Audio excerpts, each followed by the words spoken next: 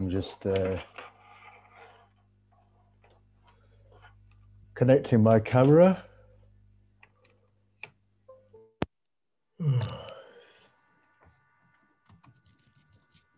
Here we are. Hey,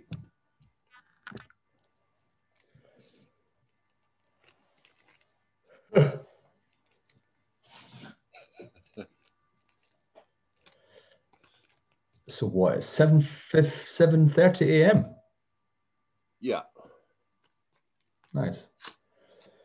How is it over there? What time? It's three twenty-seven. Ah. It's fucking cold. It? it snowed about two hours ago. Just like suddenly snowed and then it stopped and now the sun's out. So do you have any Um, heat, heat in your building? Yeah, I've put the heating on. Uh, my landlord and friend William, he prefers to have three jumpers on and a, a big jacket.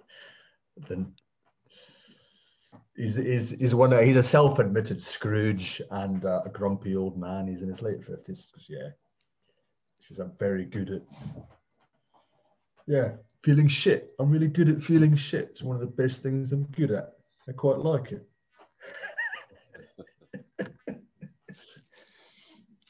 So, uh, you know where you stand.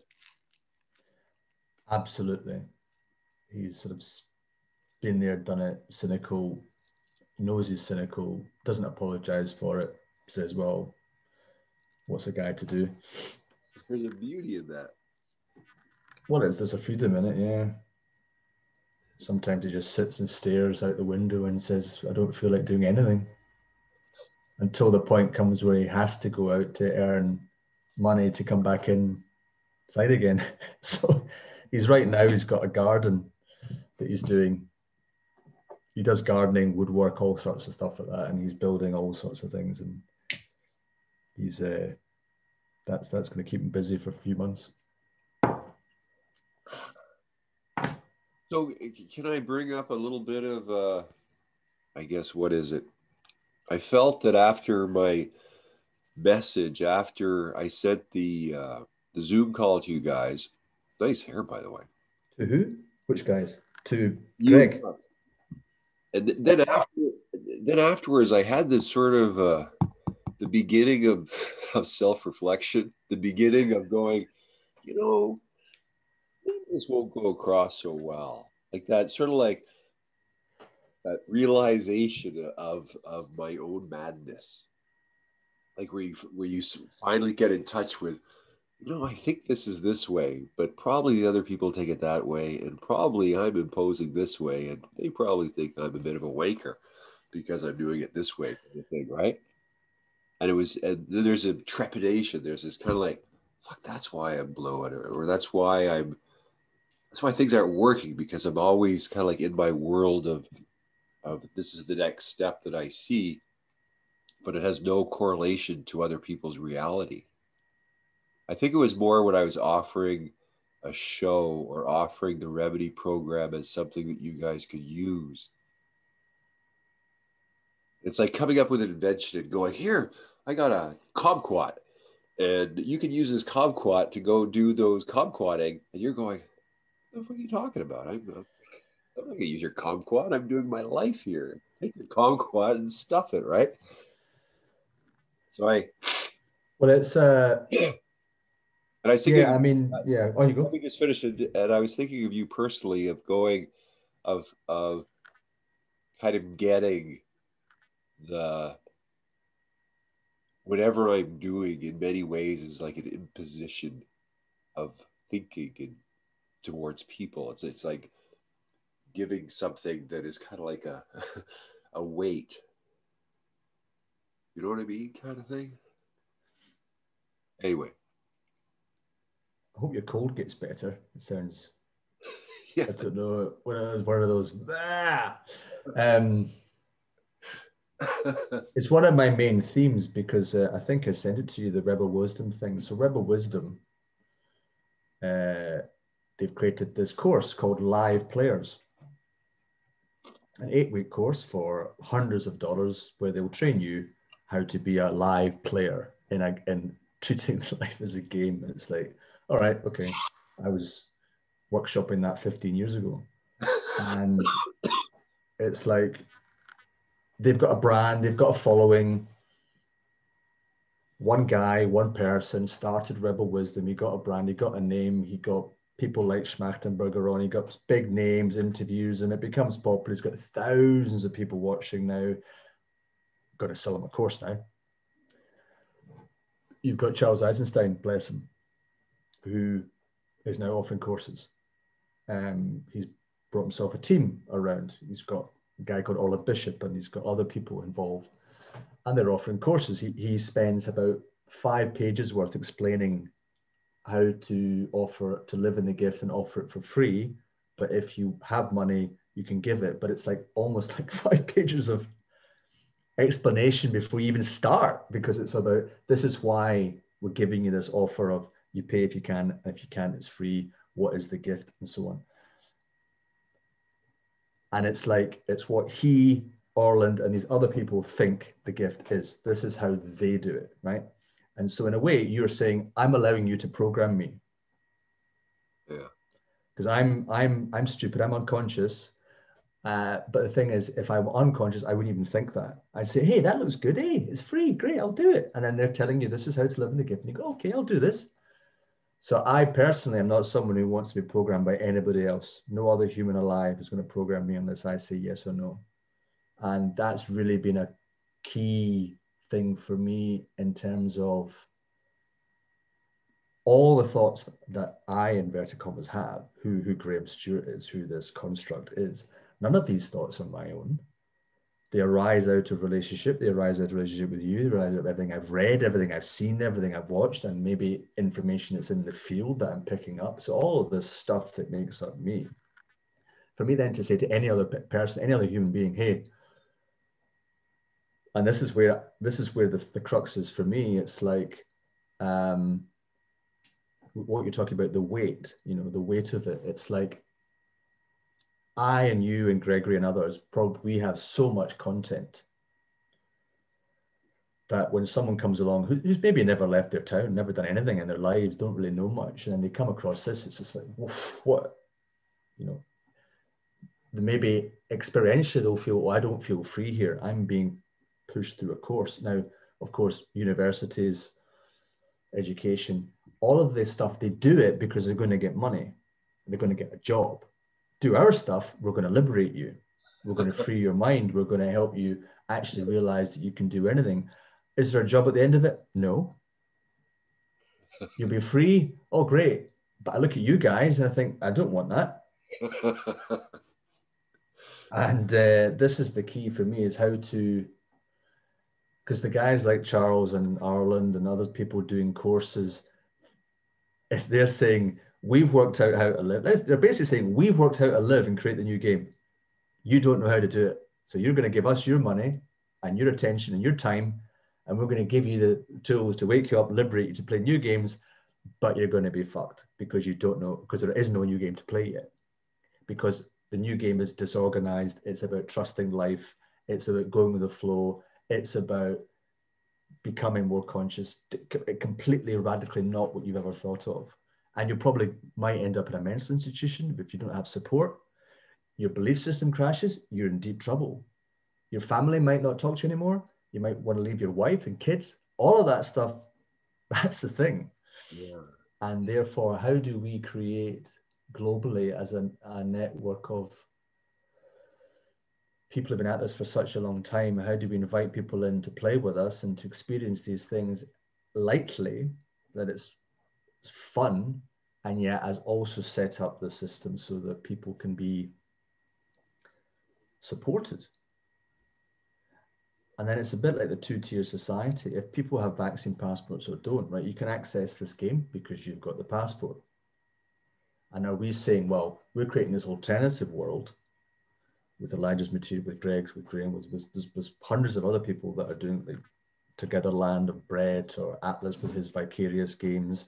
These are all games you can play within this new reality. And they can all link up and you'll feel very different. You'll feel in different company. yeah, how do we, how do, because we're, we're liberating people. And therefore, I, I'm not sure that this is for the mainstream. I don't know who it's for, to be honest. Um, so, yeah. I mean, I think, I mean, that's a huge point of like how do originators or i mean i use the word originator but maybe there's a better word freedom fighters freedom i mean people who want to keep the scope of their own mind their own mm-hmm. and yet interact with others have knowledge to share but at what point does it become an imposition like i realized a long time ago God, my nose, my nose is just stuffed up. Um, yeah. um, I realized a long time ago, you know, the first big realization for me, this is a little bit different, but it was just like my my constant download to get attention and my unconsciousness in communication. And I was pounding this guy. And he was just kind of like, oh fuck, man, like, are you gonna shut up? But and I could just see it. I could just see this pounding I was giving him, and it was like it was it's the first time I think I really got how bad I was. And then, you know, since then, there's a you know a lot of different experiences, and now I find, you know, like you, you're on this end of awareness of going, okay, well, who is this person? What do they have? Where are we at? You know, and, what is the interaction in general, like in this present moment? What is the interaction? What is going to happen here? So much potentiality, but you know, how much awareness is over there to understand who I am, and how much awareness is here to understand who that person is, and what can happen here. You know, I I, I don't know if that's the game of Tao to you, but in, in, in my reality, that's a huge thing. And, and, and, and, I think what happened after talk with you and Mark and then having this remedy program and having this spell and I sent it, I, and I sent a, I think I sent a message to Mark saying, wow, you could, you'd be great if you could just do a spell talk, have some guests or something like that. Right. And it's just like this, this constant, like what's the difference between coming up with tools, having people use them, but then the tools themselves are formatting the mind. Like I'm trying to reformat the mind, like this little everything I'm doing is is is a sort of like tools to help the mind and thinking that, okay, well, I don't have to be there. They could use them, go use them is going to be helpful. But at the same Well, time, I think yeah, I think someone like Mark or myself or or others, I mean, we we we're creating our own tools. And I think that it's like uh, the, the people, I mean, it's like with um, just how to think about this. It's like when our, when Mark and I speak, we just generally are speaking about what's arising for us in the moment and sharing whatever's the stuff we're thinking about and sharing, and that's lovely. So if if I'm if I'm speaking to you, Elijah, and if it's if it's if it's about uh, your work, then what what what my I'm just listening I'm listening to you. Sh- you're sharing it. This is what I'm creating. This is what I'm doing. It's, it's great. Um, and for those who are on your vibe and, and they like your stuff, all that plan the maps and, and people who like maps and things like that. I'm a I'm a mapless guy. I don't work with maps. I say, what's happening now? What's next? Oh, let's go there. And then, so for me, maps can be useful, but I think that your your approach and your structure, and maybe and Gregory's got his old framework and structure as well. That's like he's he, that's using content that, that's coming from memory. I'm interested in exploring how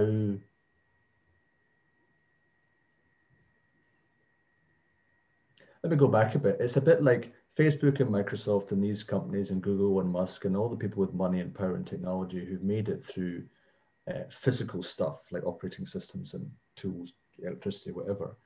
They, they basically have all those financial power and money to then program other people the way they, they want they want this and they can lobby government and everything else. So it's energetically, it's they've got their attention. We are the these freedom fighters who live on the outskirts and the edges of society, the outliers. We're playing a very different game, and we support each other, I suppose, emotionally and talk to each other. But in terms of the money and investment, who's going to who's going to who's going to support us to free people from that matrix? unless it's a case of, and, and imagine there were people who are freer, then it's like, well, what do we do now? We, we, we, we've woken up. We don't want to do our jobs anymore. What do we do? And we can say, well, you've got to follow your own guidance. You've got to follow your own whatever. So what I think what I'm saying is, if there was an amnesty from the old materialistic industrialized society, the military military industrial complex, whatever you want to call it, that world into a post-industrial, the post-industrial hasn't been built yet, so we're still straddling the two. Some some who've got money who've managed to sell out and now have the little homestead and are self-sufficient. They've they're happy. They can do what they want now. But those who don't have that, they we have to build the new so that they can then move into that. And then one of my key questions is how do we allow, how do we decide who deserves access to spaces? Mm. Why should it only be the wealthy that get to see the most beautiful places on the planet? You know, why? And looking at it in VR is not the same or on a, on a computer to experience the, the beauty of some of the places on earth, which you can only get to if you've got the money for the flight and you can afford hotel or whatever. That's not fair. Uh, but I mean, but if we look at the context of what's occurring right now and see that, you know, that old paradigm or whatever you want to call it, military industrial complex is is squeezing or is is putting in an end game by assessment that is leading to like that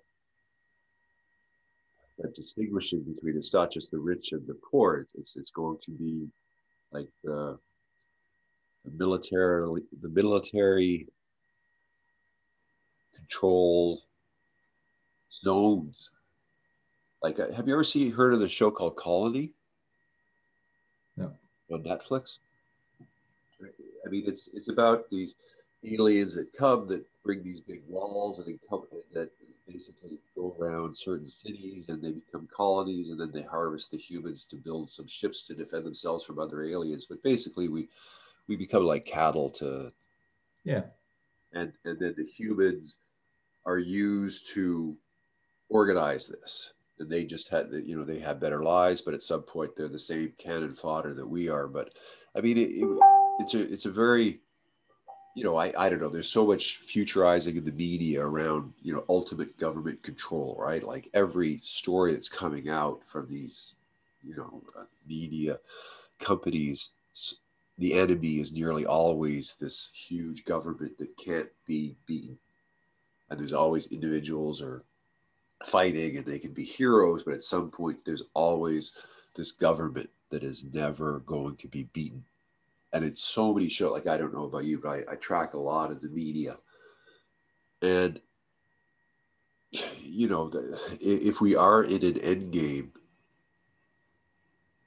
like that's uh, like the you know within the Kali Yuga, you know, there's the idea of the thousand thousand years golden, or you know, thousand years of a, a goal kind of existence.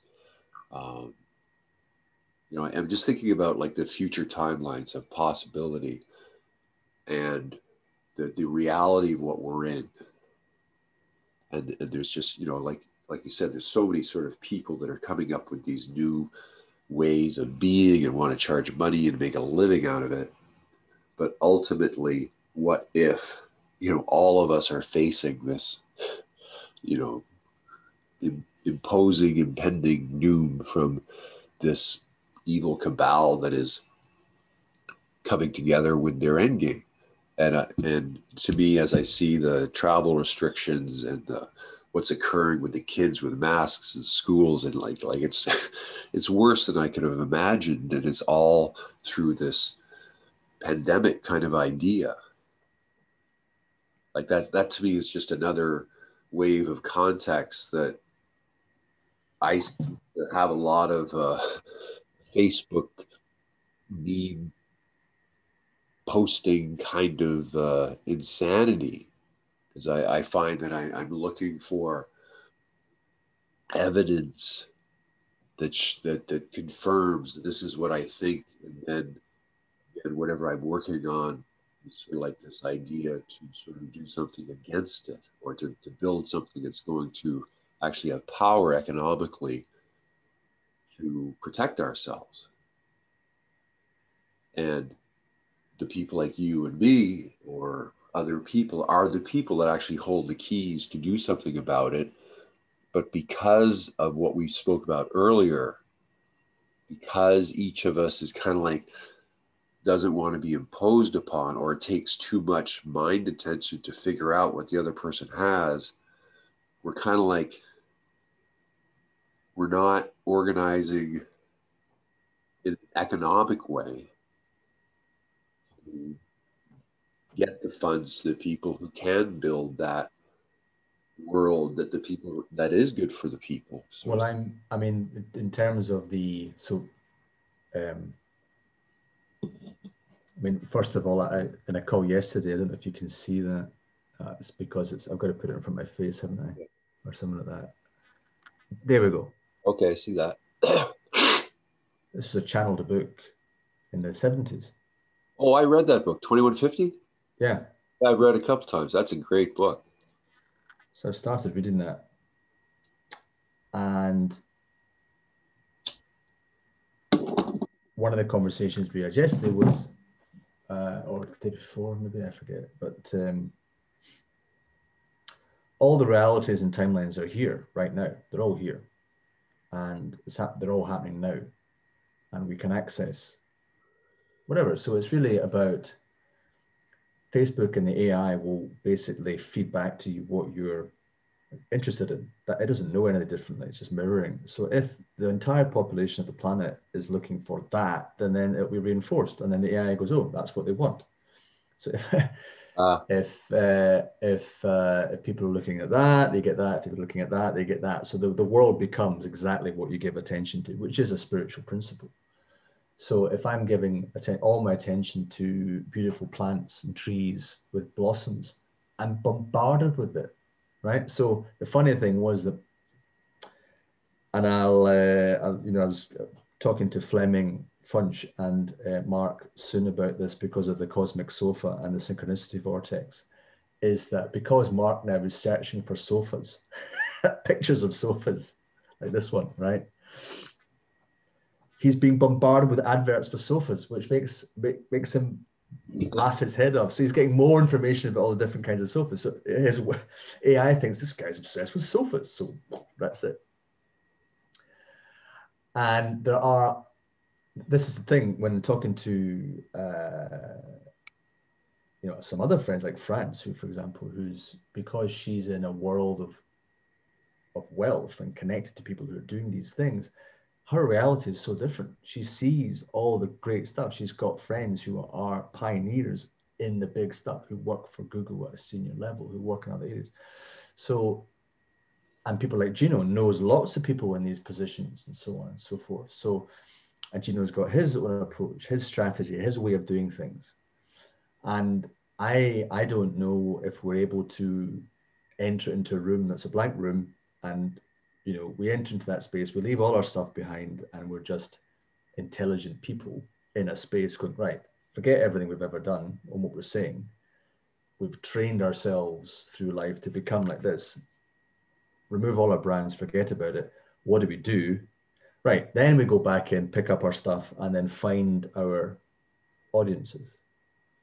Because I find that when we're in that room talking about our stuff, there's no conversation because we don't we're, we're sort of, if it was like a Jedi Council, just to give an example, we wouldn't be trying to sell each other our tools. We'd be saying, right, you've got that, you've got that, we've got this. How do we support each other?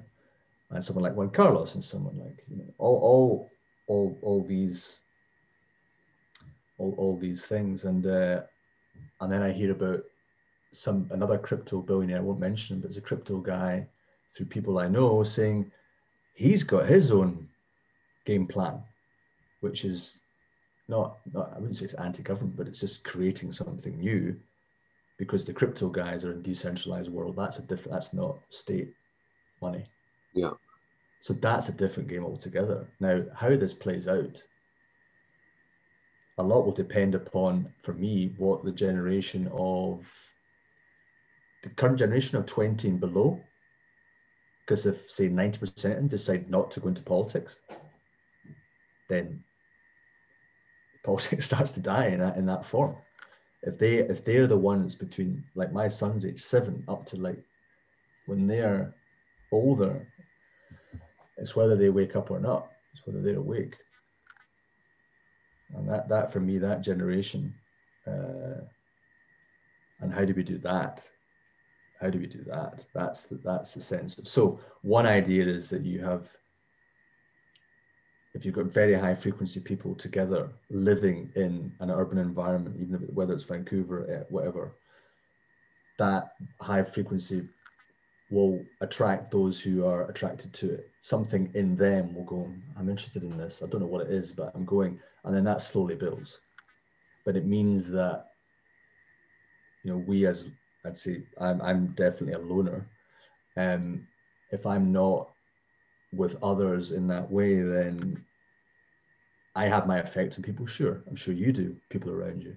but unless we're all networked and supported um, then it's harder.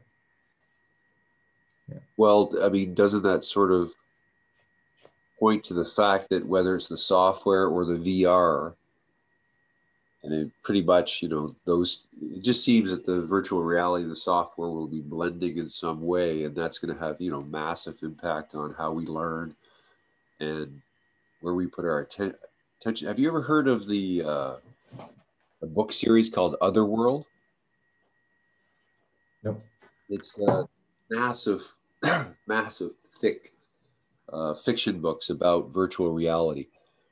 And it was the first and sort of like the only real story that I'd read about the future, about virtual reality. And it was just a whole bunch of worlds that were sort of owned by, let's say, billionaires, where each billionaire would sort of create a world that you could go into there you okay, you got one. Okay.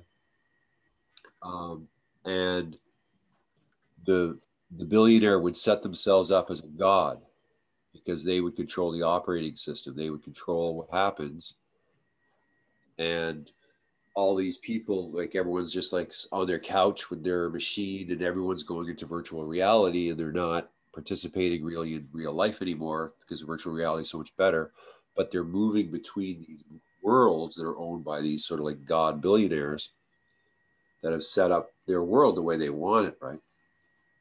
And it just, you know, it, seems pretty, you know, you know, if you look at the amount of people playing games, you look at the amount of kids, you look at again, you look at those kids you're talking about. What are they doing? They're playing games, and they're going to be playing better and better games, and they're going to be playing games that go into virtual reality. And nothing pretty much can stop that. Um, but it's, I agree. And what I just showed you there, my David sent me my, I've got an Oculus Quest 2. And I've been using it today and yesterday. That was the first time I've ever been in VR. Ah. And I was not expecting that experience. I thought, okay, I put it on and I'm in my home environment. Like, fuck it. I'm like, I'm like, what fucking hell? And he today took me to there's a Google thing called Wander, and it's basically a 3D version of Google Street Maps. And we were going to his house, we were going to places, and you know, he says it trains his memory differently because memories come back differently than from the 2D. And I, we were in yesterday, we were wandering around as a couple of cats in this giant, giant like hotel area and I just felt a bit motion sick. But I thought, you know, once that gets better, so it's almost like the real thing, and I can basically teleport, transport. You and I can meet in a cafe next to the Eiffel Tower, we've got haptic gloves, we can touch things and move things.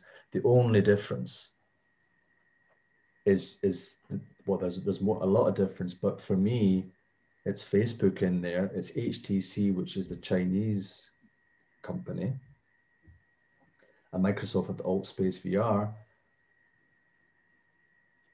But it does feel that yeah, it's whoever dominates these spaces.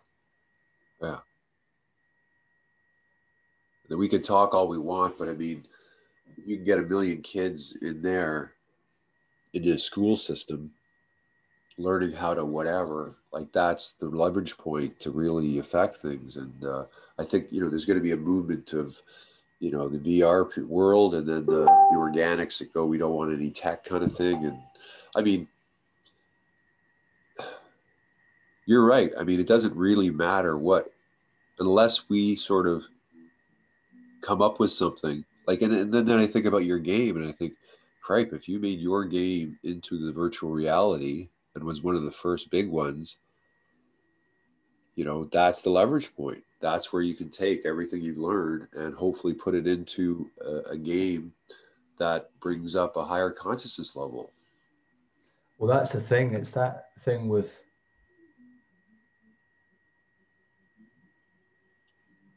I don't know if you've read uh, have you read Reality is Broken, the Jane McGonigal so it's called Reality is Broken. Her name is Jane McGonigal. Jane McGonigal, yeah. And her dream is that a game designer wins the Nobel Peace Prize. And she's giving talks constantly. She's on YouTube, she's quite good. Uh, and the book's quite good. She's a researcher in, in that. But her main point is that for many people, like Koreans, if you look at Koreans, South Koreans or the Japanese, X percent of teenagers are in PlayStations or whatever kind of game most of their life. Uh, so that says to her, right, for me, that tells us that reality is broken, that the reality that we currently, we mostly live in, doesn't work for most people. Therefore, we're going to go into these games. And so, therefore, whoever designs those realities, because this this life here, you know, even the CIA can't deal with life. It's way beyond the universal forces are way beyond anything that's human.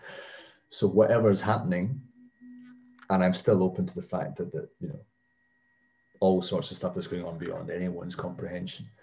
Um, as you say, how does how does that how do we how do we turn game design into into like an activity that all kids know how to do and they're having fun learning, but they're not, the intention is not to enslave each other's attention. Because, or, or, or, you know, or greed is evolved, ah, get your money. So it, and for me, the greed question is once once everybody has that basic income and that's sorted out, the, hopefully the greed will lessen. But I still think that people be, will be greedy. But to design games where, where greed is, is penalized, ah you know, then you're out for a while. Then, then it's like, okay, I'm going to play that game because I feel better in that game. This game is great. I can learn lots of money, but I don't feel good. So we have to really help people experience their feelings and know themselves well, going, ah, it doesn't feel right. And then again, without the money, we can't attract people to play the, you know, Planetary Guardians as a game. If I, or, you know, Citizen 4D or whatever. I add, can add something here. that I've uh, with I have a programmer friend, Nova, who's been working with me create that remedy program you saw. But we're working on a, a chat room, a different type of chat room, which you know at some point will be pretty basic compared to these other things. But what it does is it's it's having the idea that you come into this room and let's say you're in, like here you're in an investigation conversation so the focus point is we're trying to investigate something, right? And that's the parameters for the chat room. And then you have a goal, and then you have a timer, you have a point score, you have a value, and then you have a team that is in this chat room. And so this is Luciel, right? So we, we tested with Luciel a couple days ago, and we're we're close to getting this done. Where Lucille right now is like a basic one-year training program where they have 12 teams of 12 people, all in you know very uh, you know energy and water and housing, and you know they've got the main teams that you would sort of want for programming or designing a society. But they're they're the first three months is personal development. The second three months is group coherence, and the, the next three months is collective intelligence.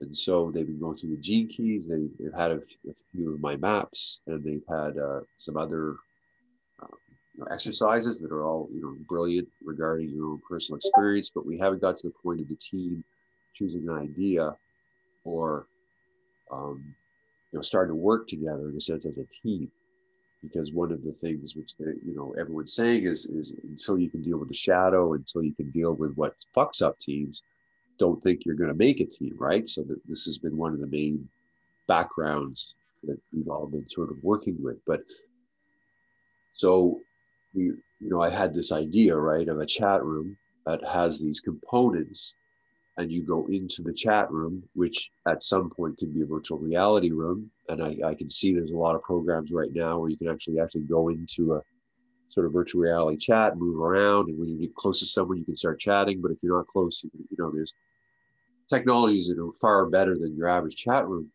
But it just it, to me, it's more the conceptualization of the idea first, right? It doesn't matter what technology kind of comes afterwards, but if you really get that first thing right, and that's like again you know what what what is fun?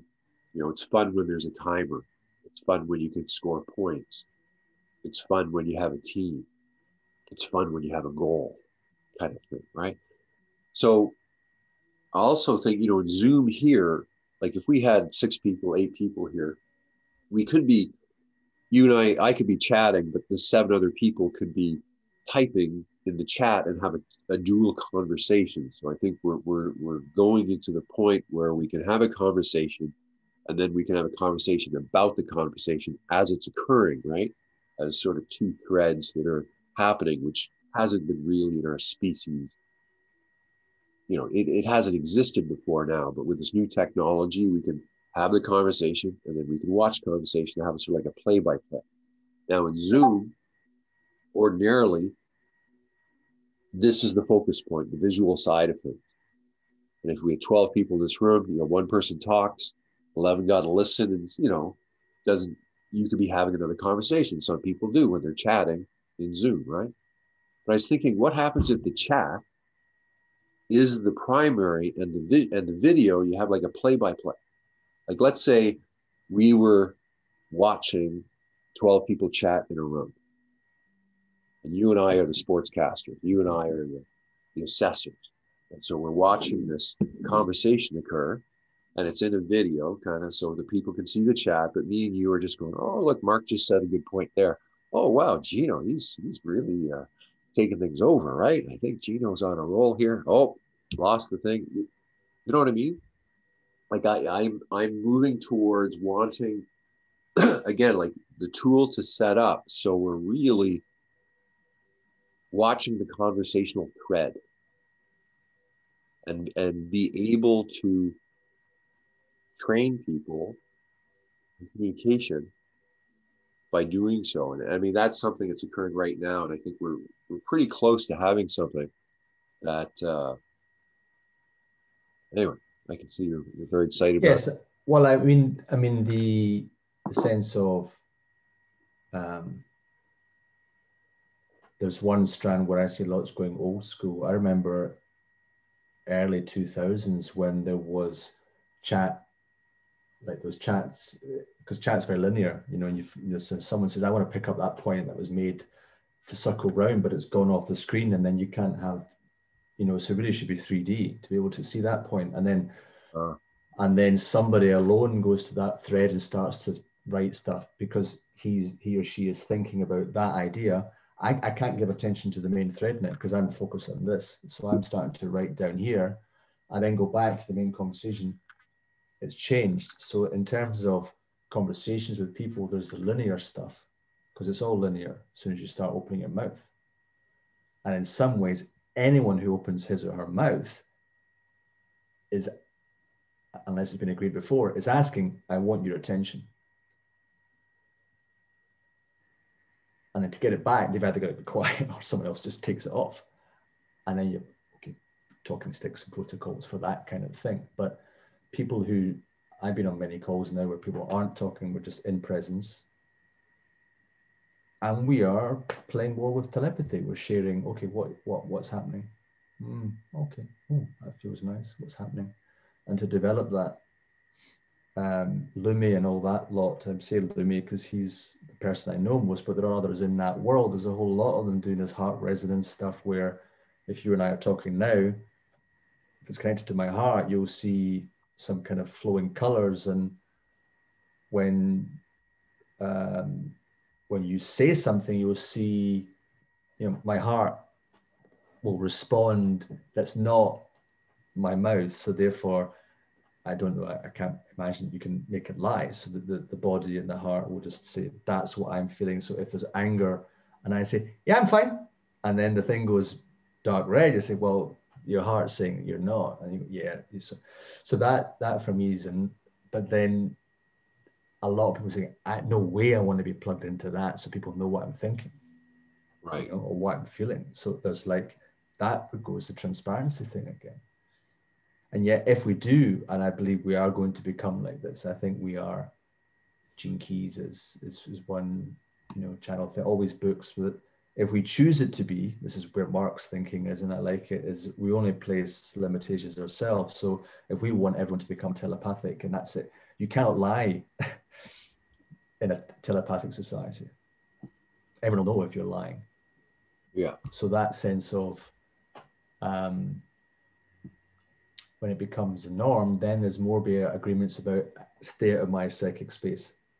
Because every time I think about you, part of you will know it. Yeah. And it might come to your conscious or not. If I start thinking negatively about anybody, they will know it and I will know it. The system will be like so much stronger that we are naturally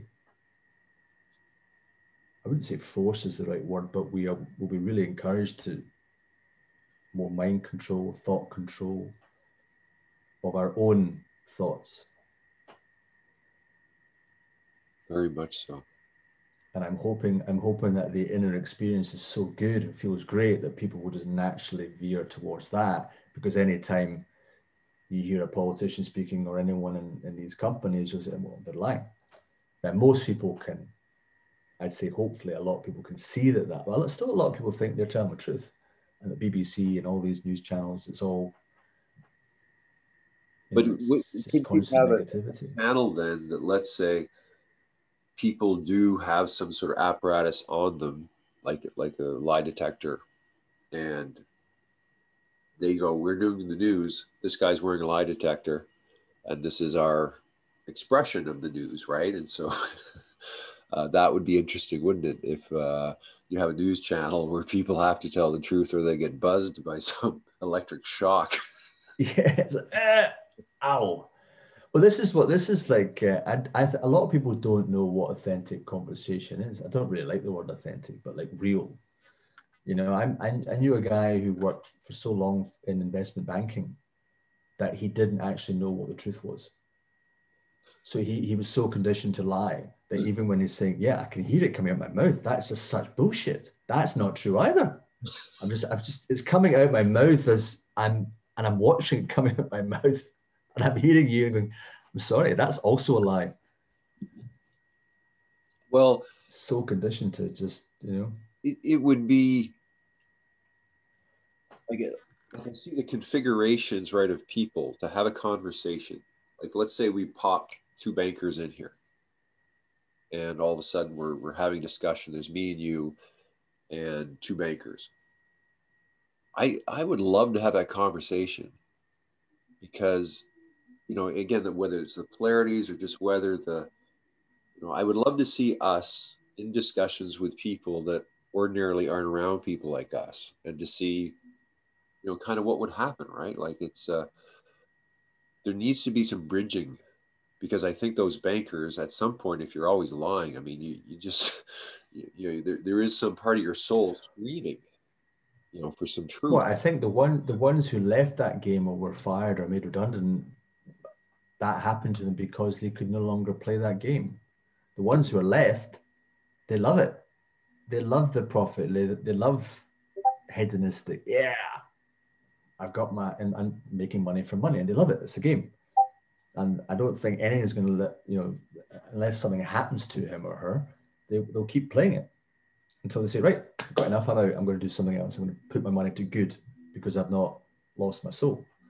And there's a lot of people like that. I've met a lot of people who, not a lot, I say, you know, not, not thousands, but I've met a good dozen or so people who've got a lot of money who are genuinely trying to do good. And um, they're not bad people. And I think there's a, there are more than around than we think. It's just that the ones who are the really, really greedy ones uh, tend to be, uh, well, I actually also think it's out of their control. Um, I remember watching Mark Zuckerberg on a video. The guy looks like he just needs a big hug because he's just terrified.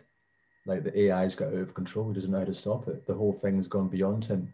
You know, the investors, shareholders, management, the system. He's just this guy who I just started this thing 20, 15 years ago talking about my girlfriend and suddenly, you know. Did um, yeah. Did you? What did you think of that remedy program? Like, what did you think of that divination? Well, I think anything, anything that is, yeah, any any divination program that gets that randomizes things and, uh, you know, yeah, I mean, I think that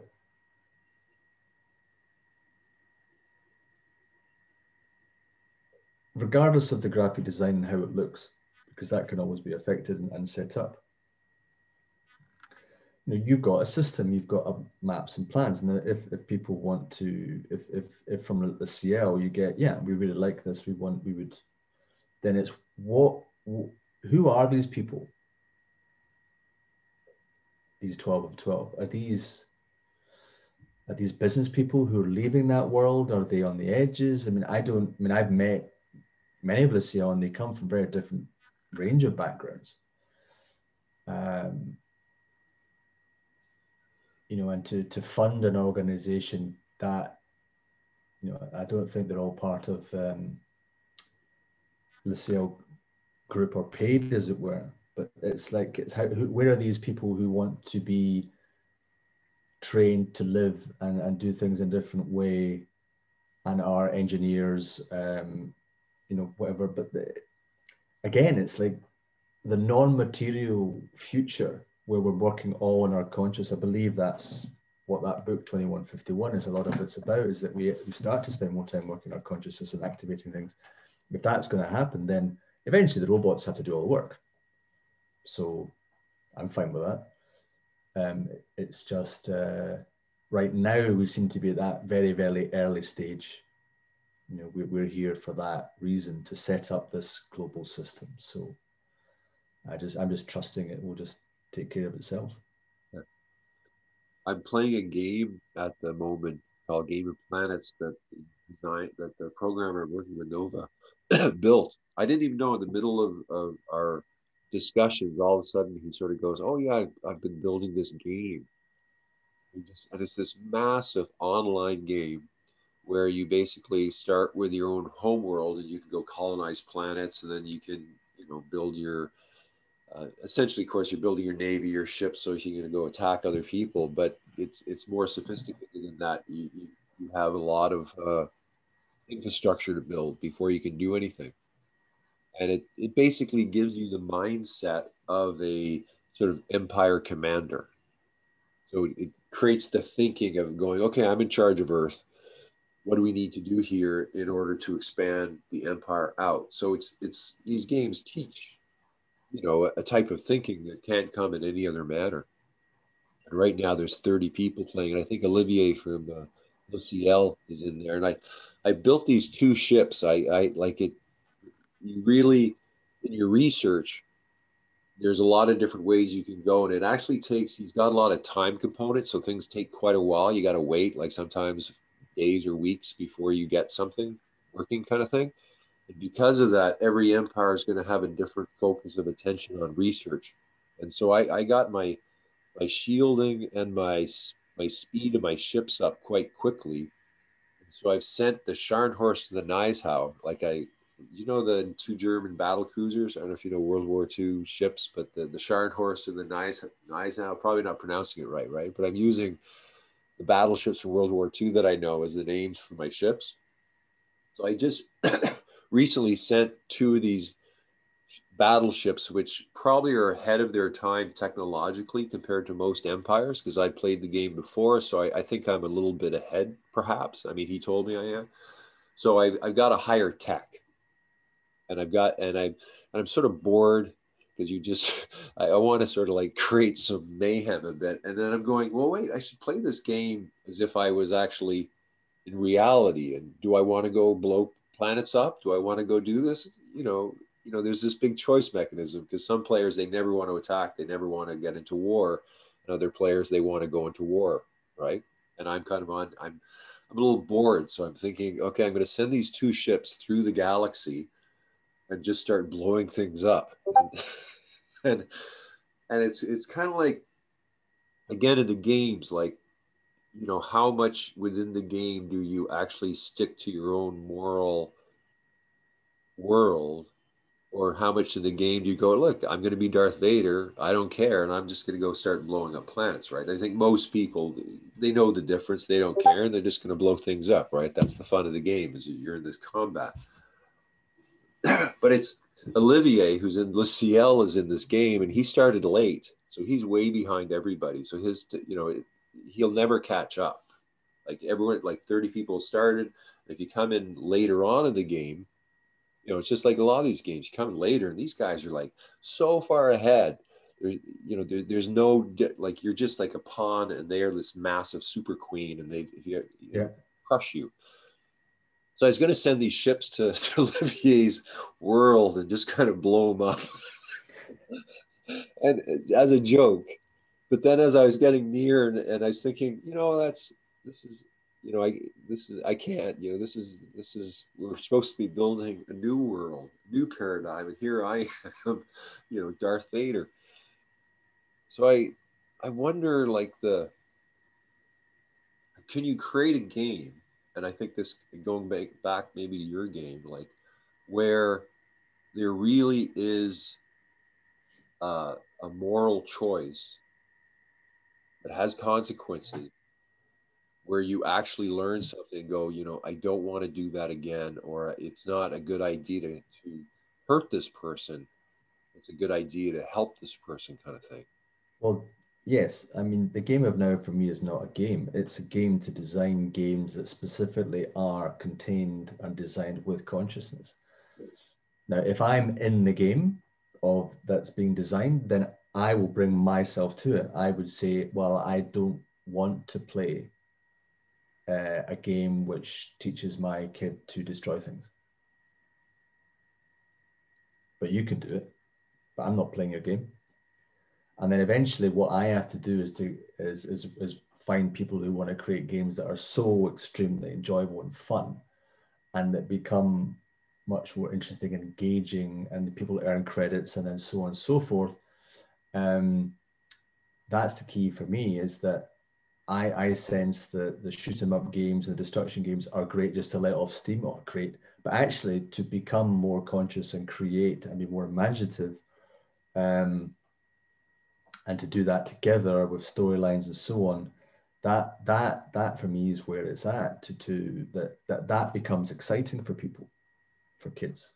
You know like hey there's a you know this year um what i'd like to see is every town has their own game designer as as they have a you know the mayor. Well here's the town's game designer. They created five games this year and they really are helping the the flourishing of that of that town.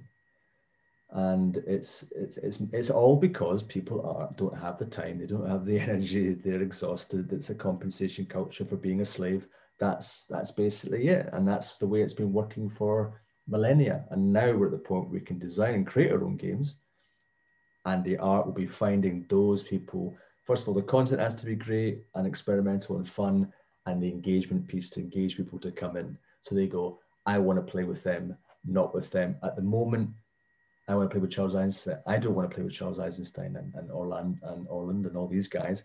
They're great. They're doing their thing. They have their followings.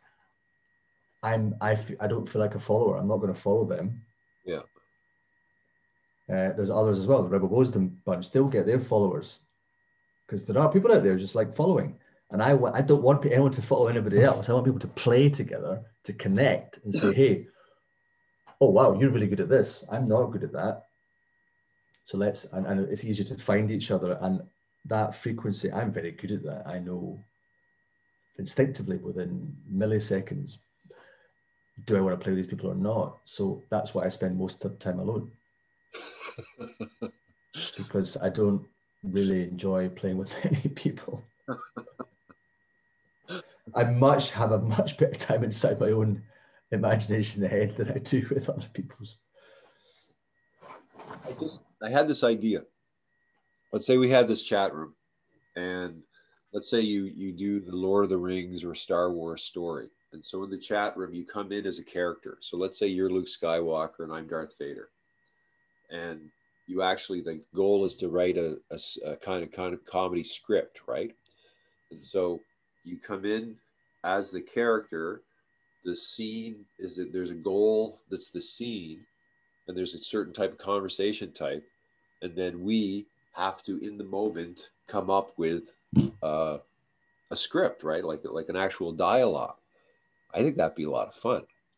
Well, I think in terms of uh, this, this is where the ikigai or ikigai or common things is like, where's the middle ground, like between you and I, where I'm fully enjoying myself and you're fully enjoying yourself? Where's Greg's Gregory's, you know, so that in the middle, like he's he's able to have his green table when we're around the green table, what we're playing partly his game and then yours and mine, or, or it's rotating. Right, we're playing your game now, Gregory. Right, okay. It's like it's like being kids going to someone's house. Right. You know, I'm going to Gregory's house today. We're going to play Gregory's games because it's his house. Uh, today's Elijah's game, and then then it's Graham's. So, and then and then we say, actually, we could. I like that bit of your game and that bit of that and that bit. We could create that, and and it's all about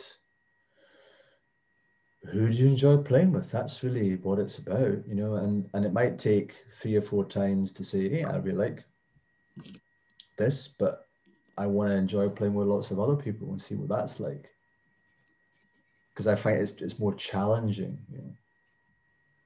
So when I was in Greece, the challenge of connecting to Greek islanders, wow. Many speak English, yeah, but a lot of them don't. I said, wow. To and their mind is so different. And they kept telling me that, saying it would take you a month, Graham, to actually feel.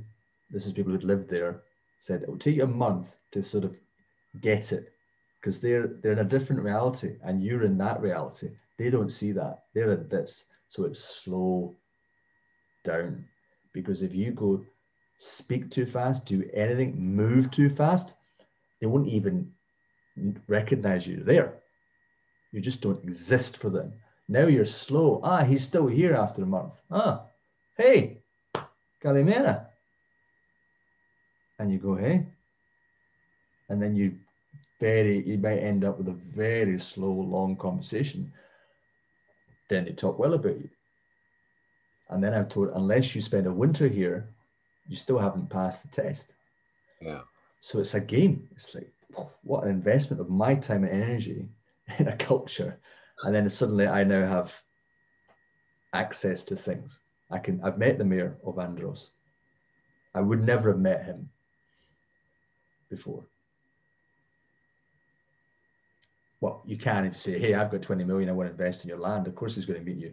But do it networking yeah. that's a very different thing. I think that's uh you know that's a massive important point in terms of assessing people's pace like the pace of how long it takes to get to know you the pace of what they're willing to interact with you you know that's a it's massive yeah and it takes time, and then eventually there's a sense of oh, suddenly things are clicking here. Often it's when you laugh together or cry together or uh, support each other through something. That's called the trial of fire, I believe, the fire trial. Um, I quite like that as a, you know, someone someone said to me, yeah, this is in Greece. There was a guy, this Greek guy said to me, oh, here comes, uh, let's say it's Petros. Here comes Petros. He's one of us. And I said, oh, what do you mean, one of us? And he went, oh, I didn't realize it said it. One of us. Yeah, what does that mean? Good question. I will think about this. Okay. The Greeks love their philosophy. Why is he one of us? So he said, this guy sat down. And one of my main questions at that time was, What is a friend? And he said, Ah, he's my friend and we're friends. I said, Okay, so if I'm his friend, are you my friend? He goes, You're not my friend. I said, Okay, how do I become your friend? Because he said that we're like you're one of us. I said, well, I probably could be, but we haven't gone through fire yet. I only trust, I only call people friends who I've been through fire with, and I can trust that person, and I can, you know, I like that. So there's a lot of people I know that unless I've fallen out with them majorly or had some kind of fight or any disagreement, then you get back. You can't, you, you don't really know them that well, and then you help them out, or you say, hey, can can you help? Yeah, sure. And then you just forgive and move on. So I think that sense of in business, the way it's been played, you don't have that level of trust.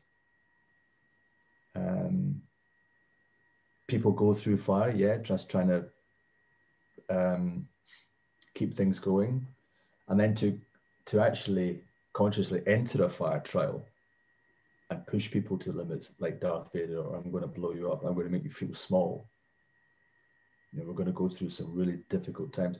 I'm going to challenge you to, you know, my former mentor, he, I'll finish with this anecdote, then pass back to you. My, my former mentor one day on, on the sofas, he just, we were just, just being in presence. And he said, just suddenly said, I'm going to kill you in half an hour. and the way he said it, as part of it was like, well, I know he could, and this feels and he says what are you going to do with your last 30 minutes? And i thought i can just i could just go ah come on let's go and have a cup of tea. And he said yeah, sure. But i decided to take it on. Mm. and i went into that right? And i phoned my mom and dad and i cried. I wrote an email to all the people that were important to me at that time. This was 2000 four. I said, I'm playing this game and I've just been told I'm dying in 30 minutes. So I just wanted to tell you all how I feel. Wow. And he said, Well done. He said, You managed to get into that state and then just watch who responds to you and how. And what happened is there were some saying, Oh, Graham, don't do that. Don't play that. That's stupid. Don't. So, okay, you can ignore them. But the ones who respond in kind at that level of seriousness, they're the ones that you can give attention to because they're coming from that same level of seriousness about what you're talking about. This is important. This is important to Graham, therefore I'm going to listen to it, not tell him to behave differently. Did you tell them that you had 30 minutes to live and this was your last message? I said I've just been given uh, this uh, this test to to see if this is the last 30 minutes of my life, what I do. So this is what I want to say, and this is how I feel and I did it, and then I phoned my mom and dad, cried, and then that was it. Half an hour gone. So I remember, was, right, all done, let's go. How did they respond? Uh, some there's a, one guy said, "Yeah, we're building tools for for things right now to help with that," and it was to do with just the way society was, and that not enough funding or money is going towards good people who are trying to do good things and creative things. There's just no support unless they want to be like the old stuff like that. And others said, "Yeah, we're doing it." We're and then one guy phoned me immediately. He said, "You okay? Are you gonna? Are you are gonna?" Commit? I said, "No, I'm going to commit suicide. I'm not committing suicide. It's a test. It's whatever." He said, "Oh, you should really shouldn't do things like that." And then when I relate that story, you know, Chris said, "Well, what he's saying is that he would never do it." that doesn't mean that you shouldn't. And this is people constantly trying to control, especially when people say, oh, he's a colleague of mine. I don't want him to behave in a way that's going to have an effect on me. You know? So if, if I, if you know, if, if anything, you say, yeah, he's a good friend of mine, you behave really badly, they say, oh, well, that must mean he likes, he's like that as well. So it's, well, you know, that yeah. reminds me of something. I was in a men's group and uh, it was like, again, kind of trial by fire. Have you heard of the Sterling Men's Group at all?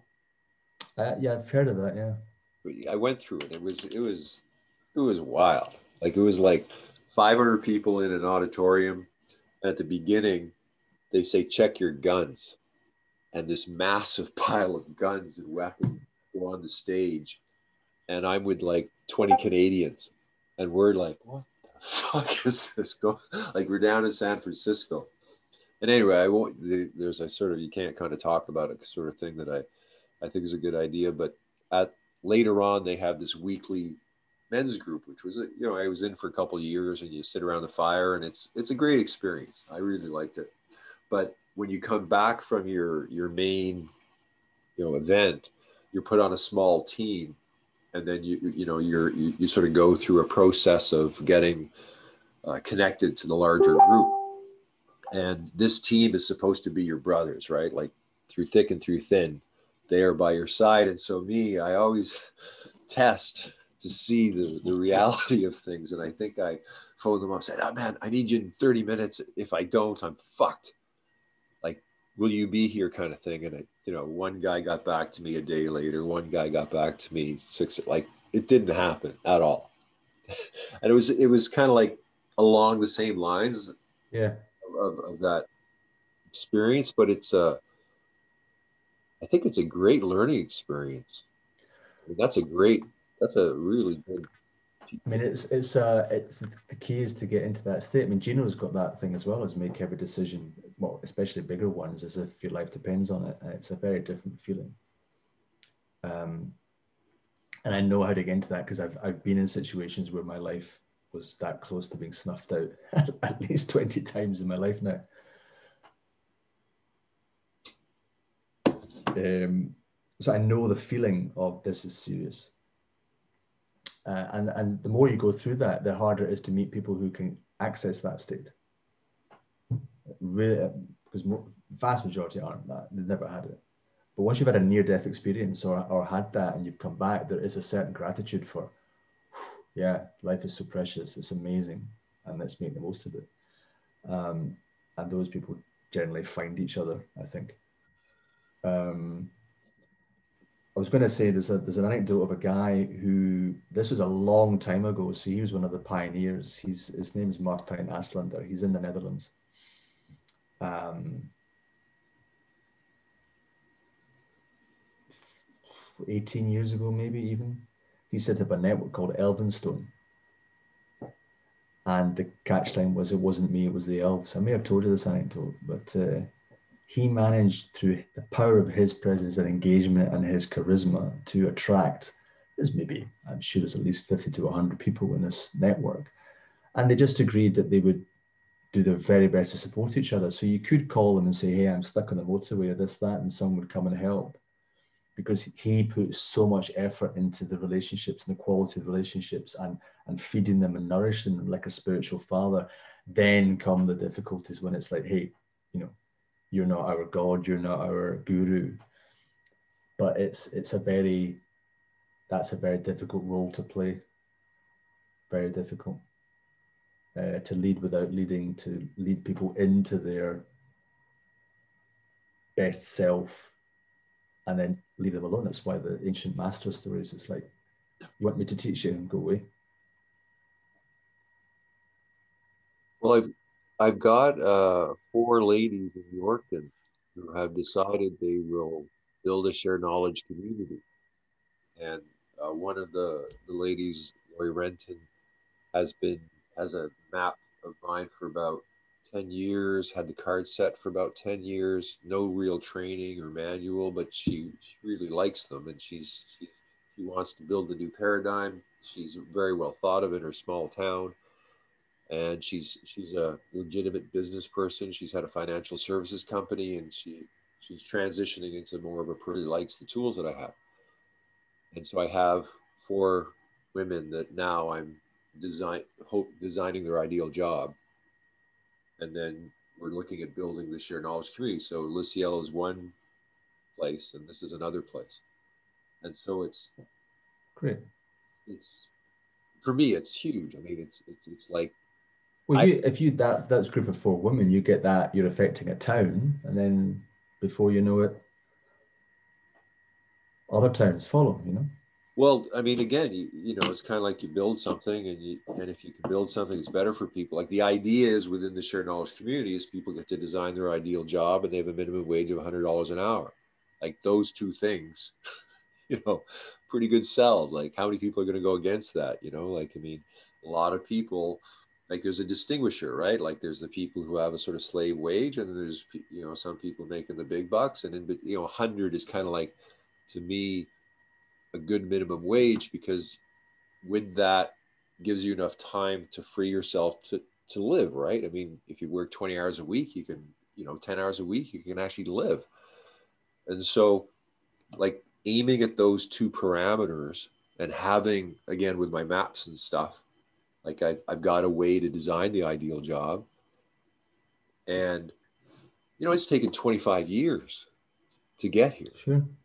And, and actually like with this person, 10 years of wait, like and seeing like four or five times where we tried, and didn't try, didn't, or could have, didn't, other people came in and, and now it's like, again, because of momentum, like it, like if you put an immense amount of work into something at some point, you know, something's going to happen and uh, the and with Luciel with this chat room, like basically getting 12 sets of 12. So as a sort of like prime facilitator, get a facilitator in each chat room, and then they bring in the 12 people. So you're cre- creating the infrastructure to have 144 people work together, right?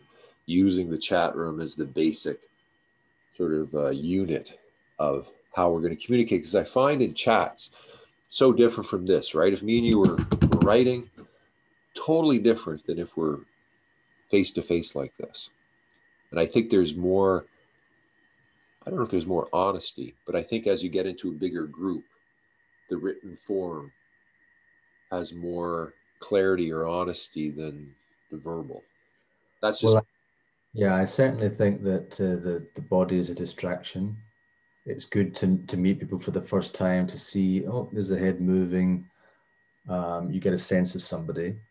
Um, i like also the audio only. There's this this space. You can hear it. You can feel into it. Your eyes are shut or even or open but you can feel the room and the space and where people are. I find that easy. And then the writing you're able to attend to the words yes and then play on words and laughing and fun. And it's easier to some, there's something about words that trigger the imagination differently, I think.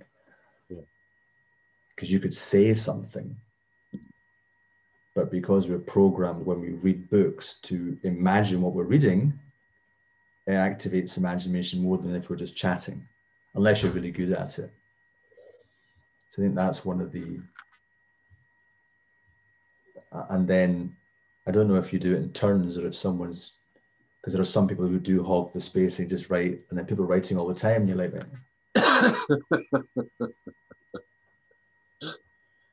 some can type really well, and others are like, wait, please. There's a component that I didn't tell you about that there's a support button. And so there's a way to kind of like with somebody's idea, like you're saying, like you had this thing here and all of a sudden it's gone there's a way to support that idea. And if it's supported enough, it gets sort of lodged at the bottom. So you can take the good ideas that get the support and pull it from what you're doing. And then the idea is to print that as a PDF. And then that gets kind of saved as like the outcome of whatever the conversation is. And then that can be used to go to the next step. To go, okay, well, you know, we found the one idea. Now we're going to flush out that idea kind of thing. So that's that like uh, Nova had had this idea of a large chat room where, let's say, if you had thousands of people in a chat room, that again, with some sort of supporting mechanism, you could take the ideas that got the most support, bring them to the top, and then sort of have some sort of, I guess, methodology for utilizing that. But how do thousands of people talk in one room? Well, just like, well, just that's it. Like, how do you? I mean, I've been in games where there are thousands of people sort of in a chat room and it's just constant chat and it's, uh, it doesn't really, no, it's, it's interesting, but it's, it's like hundreds of people chatting that, you know, some people are in a little chat, some people are just, you know, put a sentence and nothing happens. Well, with, with, I mean, I was in one I forget what it was. It was somebody somebody was doing a, I think it was some kind of astrological, unusual astrological forecasting, and there was there was hundreds and hundreds on on on it, and so it's linear. It's like people write it. Not everyone writes, of course. So you get all sorts of greetings from here, and people asking questions, and some people who like doing that, constantly asking questions, and, and then other, and then I don't know if if the person can stop that, say, stop, stop, right block that person from dominating the feed. But then it's like if I notice, oh, that's an interesting comment, I can, I'd like to be able to click on that person's name and then go, you know, we, we have a chat later, or and and um, with the original visions I had for Game of Now in 2007, 2008, with technology side, because I I I tested uh, pre-programmed software that would send texts at a certain time to all the players. So I created the the clues, and then at midday they would get that clue at 12.15, that one, 12.30, 12.40. So the, that was it. And then each, and then within, within that, but that was pre-programmed, pre-designed, and it didn't really fit the, the now element. So what I wanted was to be able to have a whole list of players click a button that randomly organizes them into teams and, and drag and drop as well. So I click on that, right, you know, and then I've got, ah, right, I can click on that box and now what I write in that, that space will automatically message those five. And then I say, choose a captain. So then, then I click that person, right click, make captain. I can then communicate with these I'm only then communicating with four people rather than teams of six, it's 24. Oh. But I can still communicate with one person. Click, hey, I know you. What you're you doing? Let's play this, right? I'm now going to set you as the the thief or whatever. And then I've got a script that I can copy and paste, send it in. There's a stream where they're sending in photographs individually or in teams, and I can share that. I can click a click a few photos, send it back into that team. And because I've spent so long on the internet for 20 years, I could do things at very high speed. You can too, I'm sure. Others can go click, click, click, send in, send in. We're, we're at, at operating as a sort of nexus of communication and, and we're not telling people what to do. We're supporting the evolution of the story that they're sharing by being out in the world. So basically it's just a comms tool. And um, there's lots of jokes and fun, and then you can basically everyone everyone does something at the end of the day you can make a video and have dinner together and play go look at that. That's what happened today. But the idea for me was you know they get teams then you get they get sent out to parts of the city to find the ugliest spaces and then they, they all send in photographs say, oh right we like that. We're all going to now gather there and then they're going to go off in teams to find stuff to create to organize and play together to to do stuff together Lovely. You mean sort of like find the dirtiest space, then you go there and beautify it, kind of thing. I mean, that's yeah. yeah I love yeah. that. Or you say, right, go out and find someone who's, uh, you know, find four homeless people, and then as a, as a team go back, and then we're going to you know find out what they need and support, and then we've got three hours to improve their lives just a little bit or, or something. Wow, yeah. Or anything, you know, and then the, the fact that for me, I don't like flash mobs because the, the intention is to in, take over space, do something to attract attention, and it's usually to sell an idea. which is fine. More inventive form of marketing. What I like is that you've got people moving around in their own reality. You see people walking around with their right hand in the air, looking at this, looking for other people with their right hand. And they go, oh, right. And then they go, there should just be five of us, right? Oh, there's one over there. Others who are not in the game watching that going, what are they doing? You know, excuse me, what is, oh, we're in a game. Can I play? Oh, hang on, Shh, message. Yeah, you're in team. What now? Walk around with your left hand. They're in that cafe over there. Suddenly they're in the game and they're like, oh, this is cool. I mean, I'm being pulled into a different reality, but it wasn't from a people going around saying, hi, hey, come and join our game. It's right. just, and then those who say, well, there's six people over there just building this beautiful sculpture. What are they doing? I say, oh, we're in this game. Oh, can I play? Of course you can. Just text this number. You're in. The, the guy who's running the game will just go do it and add you in, and then you're off. And then what I wanted to do was have um, create drag and drop tools that allow people to create their own games. Uh, so you've got race, you've got creative this, you've got time bases, all that kind of stuff. You can do that. It's a lot of programming, but you know, and then you've got people designing games and playing with their friends, and then there's a competition at the end of the month for the, you know, for game designers. People select that, and then the city has a game based upon that person's game and, and, and things like that. So that that was I mean that's a, that's huge vision that I just it was just me. I managed to get to Red Bull and their advertising people, but I knew instinctively that this would just become a crappy one of their extreme sport stuff, and it, it, I'd end up playing with people I don't want to play with. Yeah.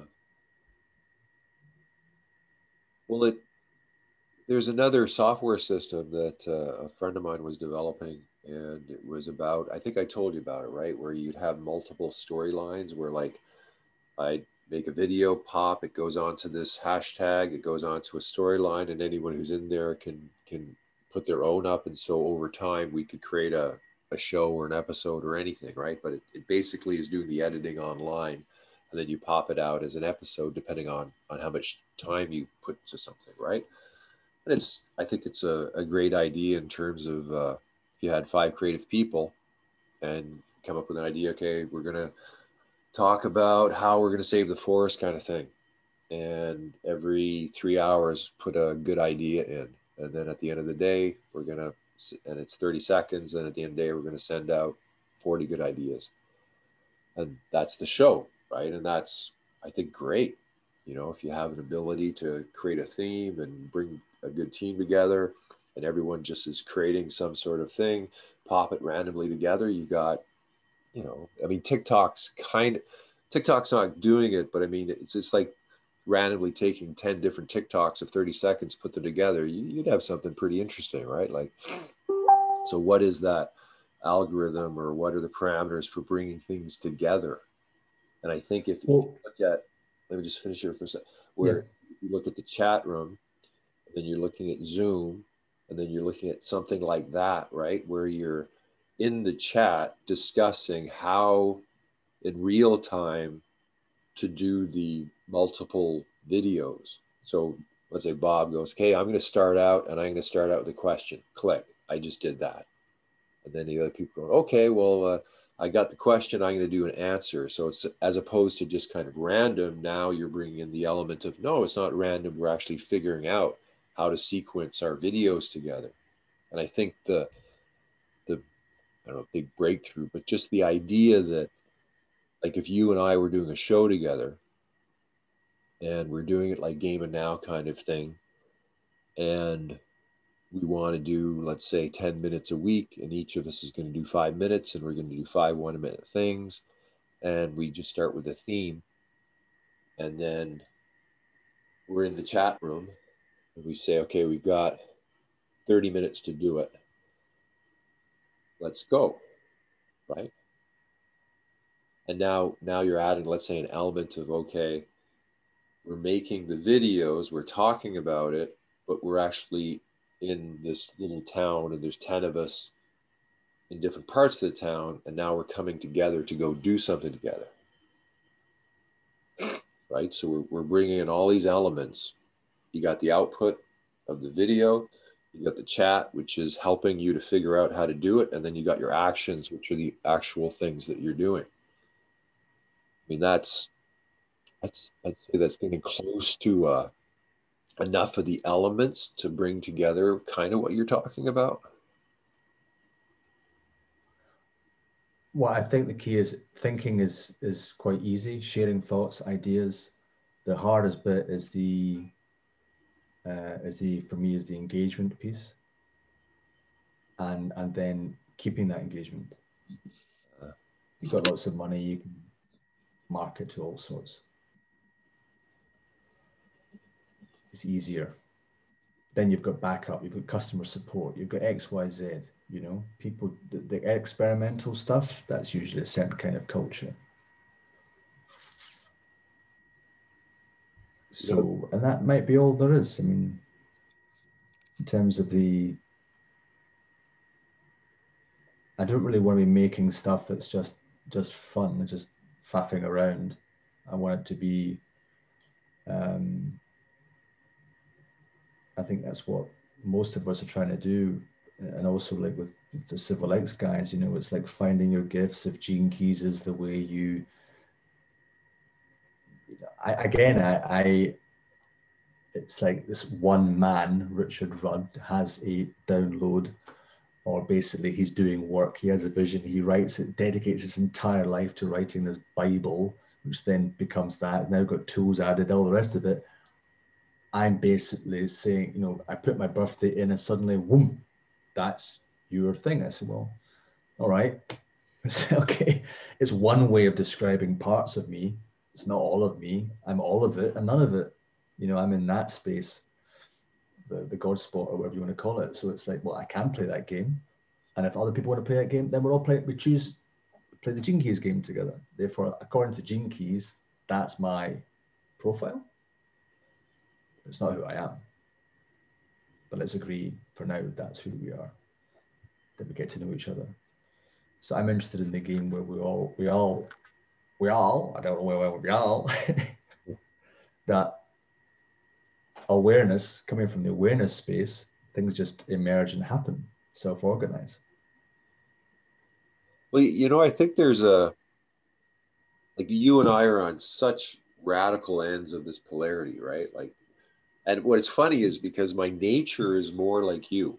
My nature is in the moment. I don't give a fuck about systems and structures and all that stuff. Like when I'm doing what I really like to do, I'm like I'm like yesterday. I'm going down the beach with a speaker.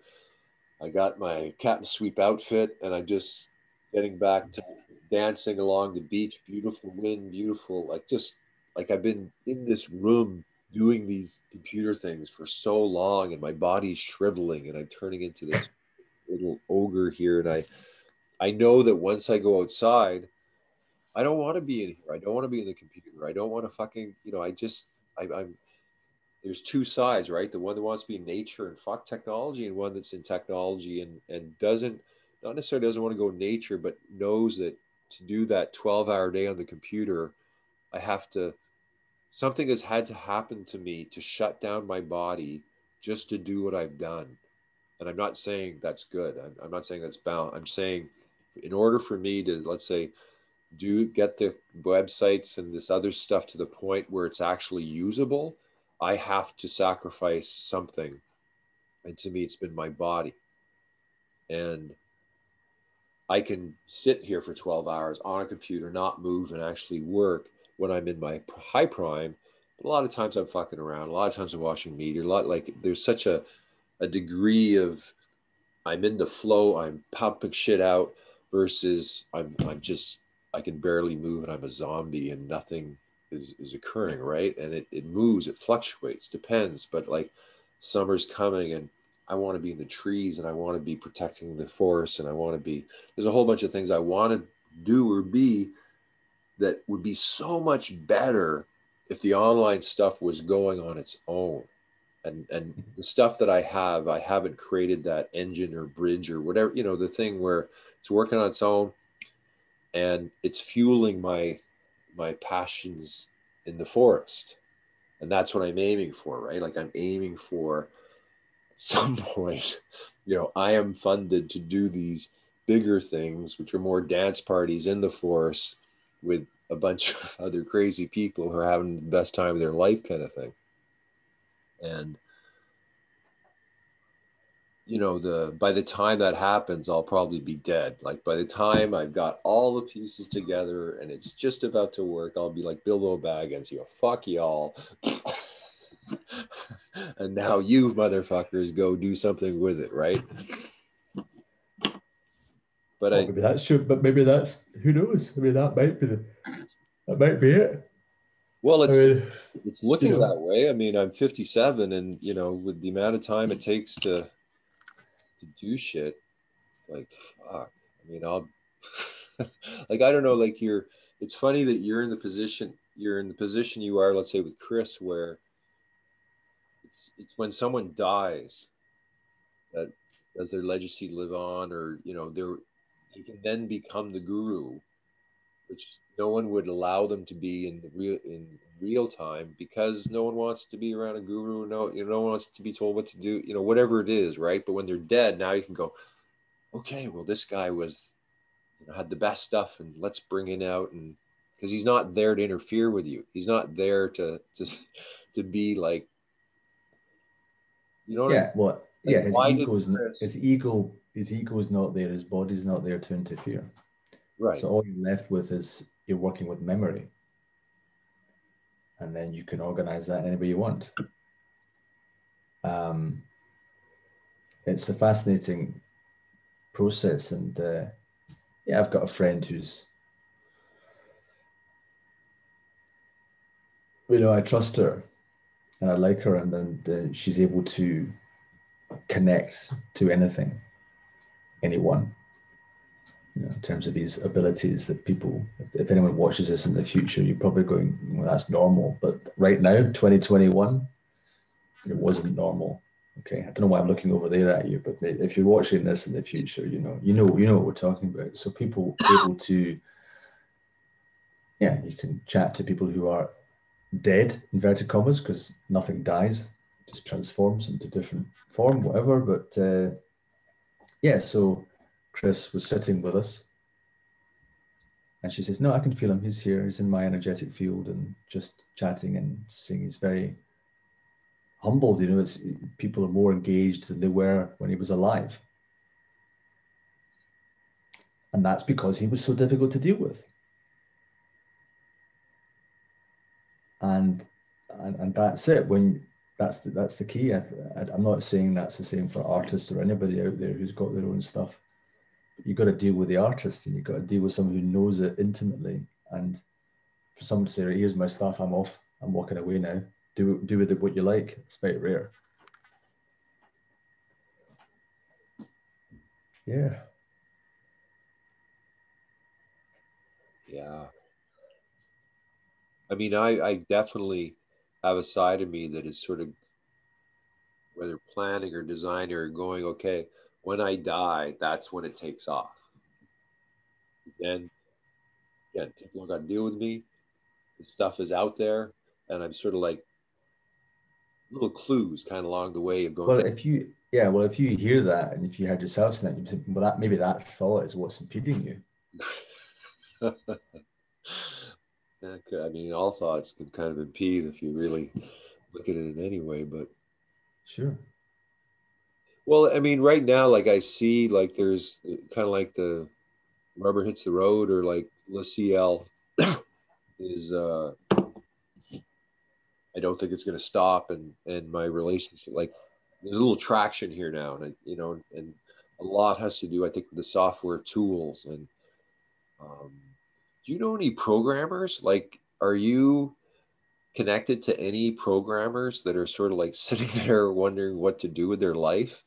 Um, because like Nova's really like he's going to school and he's, I mean, I can't believe he did what he just did, but you know, until funding arrives, you know, we need some help in terms of uh, like it's just we're, we're close, right, to getting this chat room. Like we've got like three or four different parts I haven't told you about that will really sort of create this larger ability to watch a whole bunch of chats and stimulate a lot of sort of discussions in just a different way. And I'm just, if you do know anybody, um, send them send them my way. Well, I, I mean, the, the groups, the main groups that I uh, I you know you're not part of One World Alliance. Huh? Mark Mark Kane. You not you not know Mark Kane? Mark King. He he's he's in a similar situation.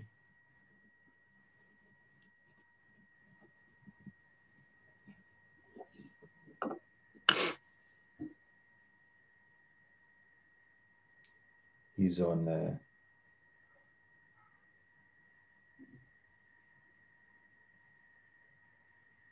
There are just so many people. so there's 124 people in One World Alliance. I don't know if you can add anybody in. One World Alliance. But the One World Alliance,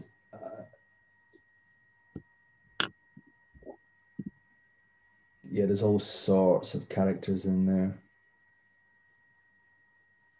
If you look at them, if you look at, yeah, Mark Wagner's in there. Brett, Brett's in there, you know, Brett, Brett Minster, full of it, that, that. Lots of lots of characters. They they know they're into this kind of stuff. I'm just seeing if one Carlos is in there.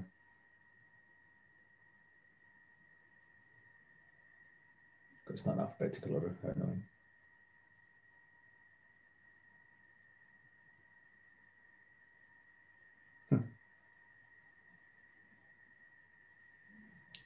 But I'll I'll uh, I'll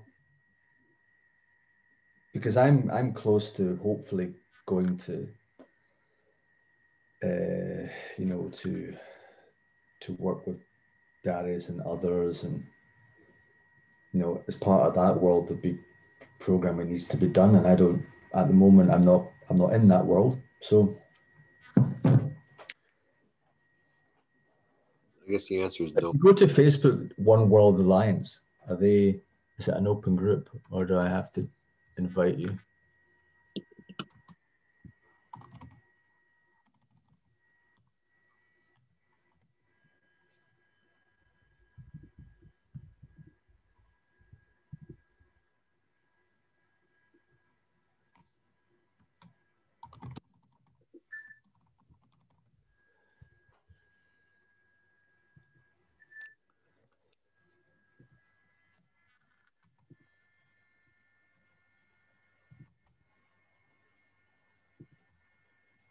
So I've gone to the group, I'll just see if it's a public group.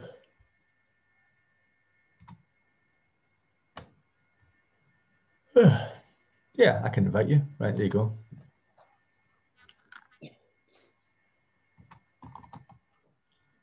So I've added you. I, I just read a few posts, get the agreements, whatever, and then just ask away.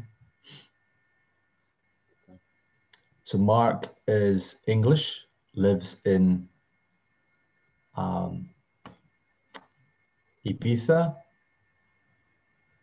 He has spent decades, he's formerly in financial management. He's spent decades on sacred geometry and on resourcing the, the new green techie stuff, the people doing graphene technology, pure water, new crypto stuff. He- he's really lovely guy. I've chatted to him a few times. He he lives uh, now in Ibiza with his wife, I think, and uh, yeah, he's very well connected. So like you know, people say, hey, I'm looking for a lawyer who can do that, and he will say, oh, I know somebody and whatever. But if you if you, yeah, try that. Okay. Okay. Well, I, I think I I need some food. Uh, how you feeling? I think. Uh, Yeah, uh, well, William's come back. I can I heard him about 20 minutes ago. So I'm going to say hello. oh, can I And, just uh, can I t- t- one fin- one final thing which you might find funny.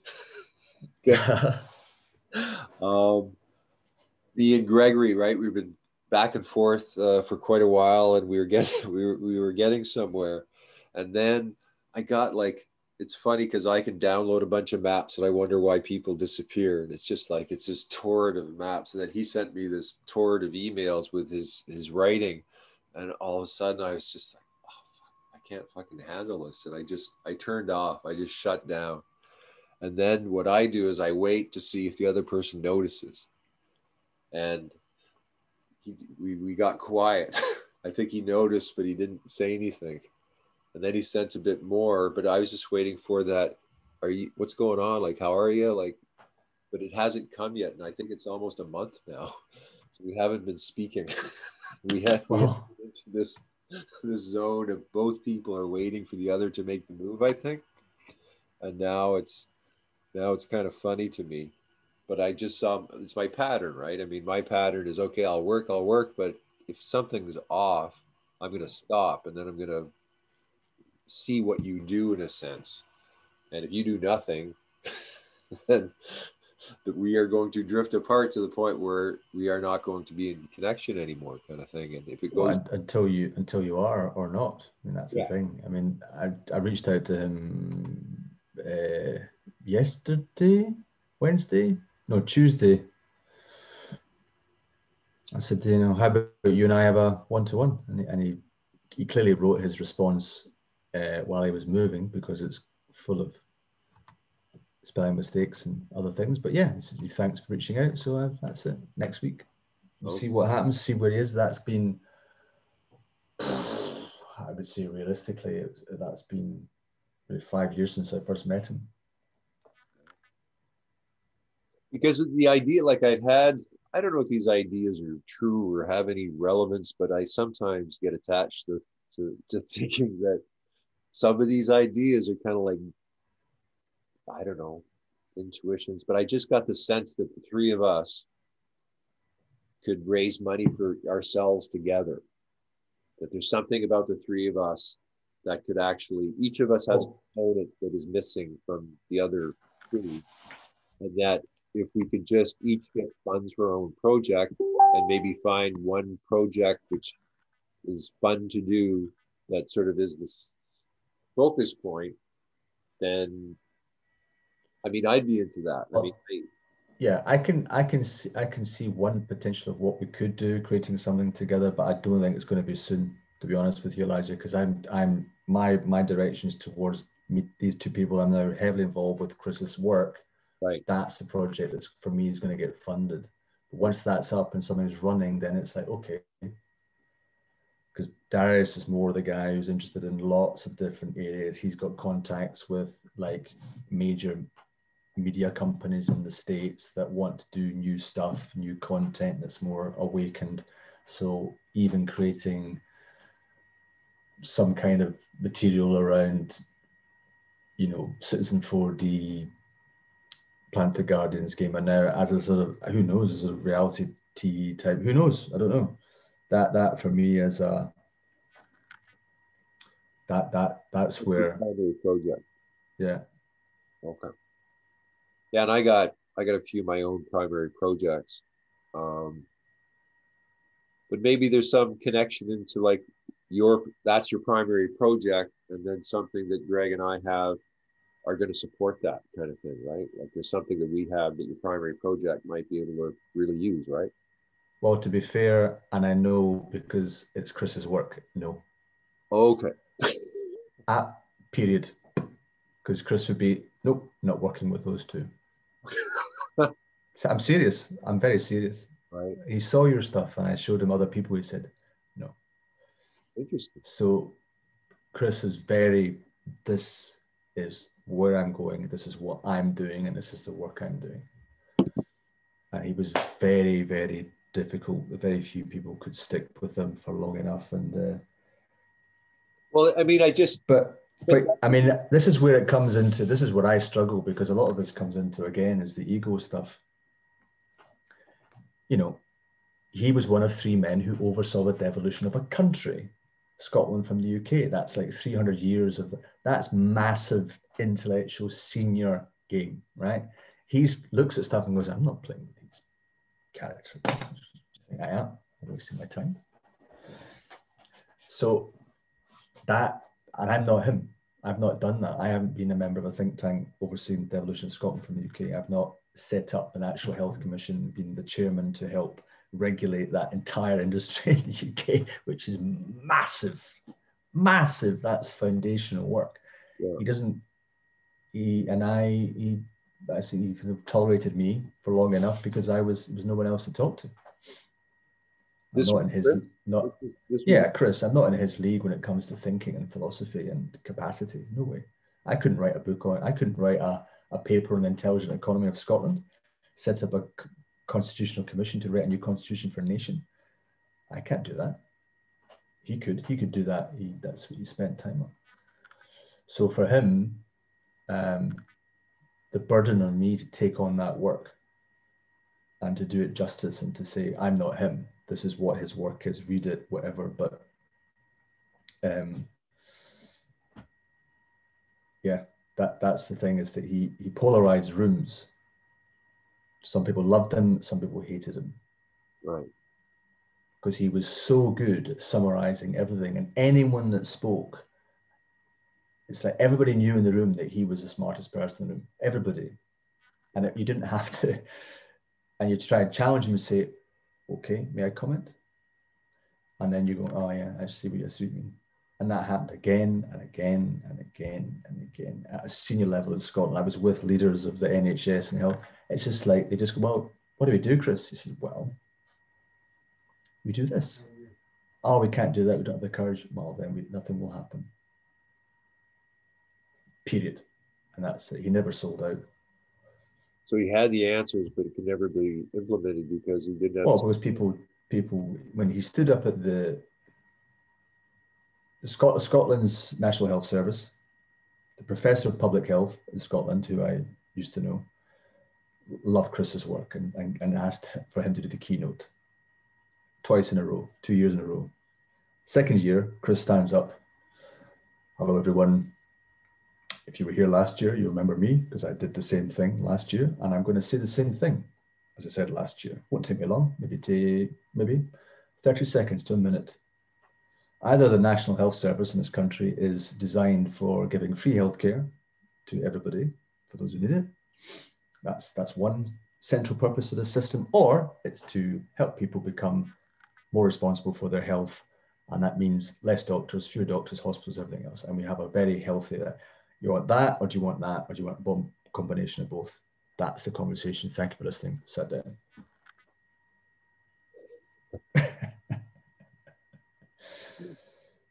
is until you change the central purpose of that systems, nothing is going to change. And people knew that, the doctors knew it, that the ones who were honest enough, but they didn't have the courage. They've, they've got to pay their mortgages, their kids' university fees, they're, they're quite comfortable uh, no, let's just make everybody healthy, then we're out of a job. No thanks. And a lot of people knew that and said, that guy's dangerous. Get him out of here. Don't listen to him. He said it in the States. That's why he was asked to leave. He said, so how come you in America, you can basically, you, you say people can't have nuclear weapons, but then you sell them to Iran. So how does that work? Hello? Get this guy out. we don't want people to think and he, he was he was in, some friend of ours gave him money to interview all the top people in banks in the UK, the top CSR people, corporate responsibility, interviewed the heads of all of these banks. And Chris could do it because he, he had the gravitas and he had the position. So he phoned up, hey, have a chat, and he would meet them and whatever, interview them. And one guy, head of, I think it was the head of Barclays, said, thinking, come on, no way, no one's allowed to think. No chance. And he was having a laugh, saying, It's just not possible. He said, Well, we'll do it if they do it, but we're not going to be the first to do what you say. So Chris introduced total corporate responsibility, not just CSR crap that, that's done now. He said it has to be TCR, it's total responsibility or nothing. And then they agreed. He said, well, You're absolutely right. Absolutely right. But we're not doing it until they do. And they're not going to sit in a room together and say, right, let's all do it together now because that means their profits will be hurt and everything else. So it's just not going to happen. Uh, therefore, it just will have to crash. It's the only way that it's going to stop. that enough people leave it, are so damaged by it that uh, the crypto starts to build or other sorts of systems build, and then that starts to starts to you know it's already happening in South Africa, for example, that uh, some amazing people have got the tech that the, basically once we go digital, it just bypasses the banking system. We don't need them anymore as middlemen. And that they, they don't, I don't think they realize it yet. Uh, so when these uh, bank CD, CD, what they called? I forget what they're called, but uh, digital currencies and banks. That's it. Paper money is over. Then it becomes it's whoever's got the digital power as the, the tools. Then suddenly you're a millionaire in a week. Yeah. Yeah, the, my partner I'm living with is tracking the cryptos very closely and uh, always researching, always. And so she's, you know, she teaches me a little enough to know that, you know, there's there's so many things going on in the background that you know only those who are tracking know, and and the, most people have no fucking idea, you know, that how rapidly things are changing in that in that world. Yeah, and blockchain and all these things, but uh, these are huge conversations, and I'll let you eat. Yeah. Okay. okay. Great to see you. I'm glad that uh, my last uh, thing didn't didn't piss you off too much. I just I just realized afterwards and going, huh, this is what I'm doing. Like my very nature in some ways is very uh, irritating to people. But it's also that uh, I think on that note as well, it's why I, I won't ever give money to Charles Eisenstein and Orlando Orland Bishop because I, I sat in rooms with them and talked to them. I'm not going to give them, they're my peers. Yeah. Yeah, I treat you as a peer. And, you know, so it's like, uh, I think what do we do together? How do we, what what are our gifts rather than the physical stuff? It's like what well if you want that to happen, probably great to have Graham in the room or Elijah's better at that, you know, have him around or Gregory's got that or all the other people we know. You know, I really a good laugh with um, I forget his name, the guy in the bath, Canadian guy, laugh hilarious surfer dude. What's his name?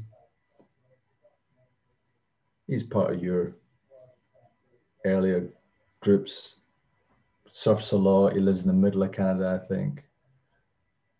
Uh, he's in your 20. He's very funny.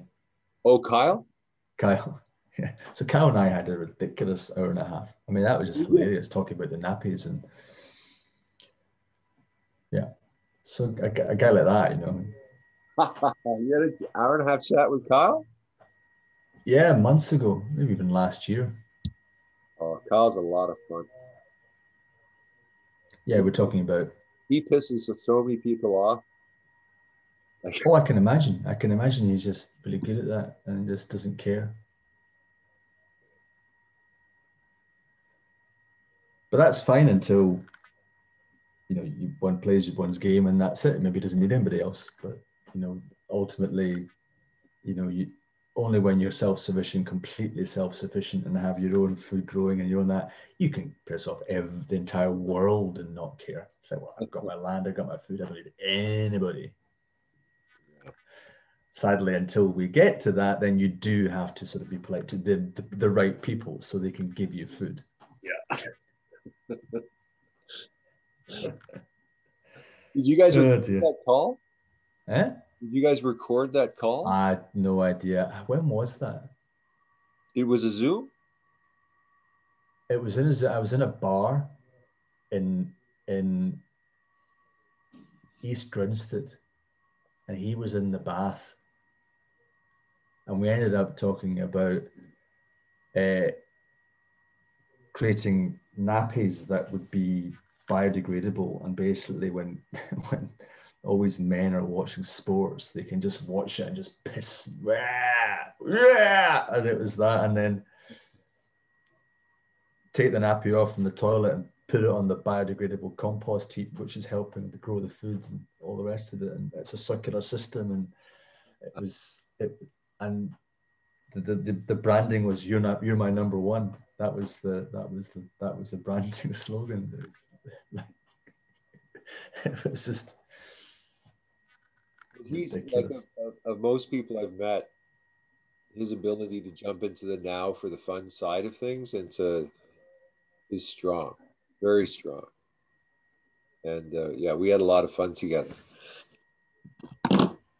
But he's uh, again like without like he he had to learn an off switch like when when we had our break because he basically was the reason why I was going in to teach my work again for the first time in a place which I thought was set up. He was the reason we got kicked. He got kicked out, and then because he got kicked out, I got so pissed off because I was just tired of getting kicked out or people whatever happening. I I lost my temper and I left. and basically, that was it. So he he was he was a big, and I'd never met him before. Like I just met him, and I but he kind of got on the team, and then there was there was this kind of like he had jumped aboard a friend that I was very close with, and he they were they got kind of anyway. It was this whole mad walkabout thing that was deep down was just freaking hilarious. Like if people understood how funny it was, and and that's what like for me, if if there's humor there, I'll forgive anyone anything. Like I just if I think it's funny, fucking let it fucking make it happen. I don't give a shit. And so so many things you're funny from your perspective, but to the other, to the muggles or the people who who they they don't think it's funny. No, they get that. That's why Fine though was like I taught for this organization, and I was doing an event with kids, special kids, kids who had they were you know they were sort of talented. It was a talented kids program. So Saturday morning. They were doing all these things. It was a week long event of stuff I was one of the first people in with my friend, and I, I happened to say, you know, do all acorns become what was an acorn become? A tree, yeah. What kind of tree? An oak, an oak tree, right? So all acorns become oak trees. Do is that true? Do all acorns become oak trees? And they were like, uh, I said, well, what about squirrels? so, oh yeah. So I said, yeah, some some some acorns become squirrel shit because they eat it and it comes out their bum. Now, at the end of the week, all these kids, when they were asked to make a poster of their week and what they've learned through all the different teachers that came in, center of nearly every single picture was a squirrel having a shit, right? so I, am driving somewhere in England. I get a phone call from my CEO going, Graham. I said, Yeah. Said, can you put you in the car? Yeah. Can you pull over? Yeah and he just said, so basically, uh, two words, squirrel shit. I said, I said, I said, oh yeah, what about it? He says, well, I'm getting complaints from the head of the, the school and from the university. And did you say squirrel shit? I said, I did, yeah. It just, it just came out. You know, these things do. You know, I'm just in a quite rough neighborhood. I just said, I said squirrel shit. Okay, and okay, just to let you know that I've had a complaint. So I'm going to defend you and I need to know what happened. so I had to explain. so what are you trying to teach them? I said, well, that was a teaching point. And he said, that's pretty good, actually. I should use that myself. I says, well, they learned that squirrel shit on these posters everywhere. Yeah. the muggles just don't get the humor. Oh, that's the problem. Okay. All right, my friend. Okay. Love you, brother. Ashley, love you too. Lo, lo, lo, enjoy your breakfast. Bye for now. Ciao.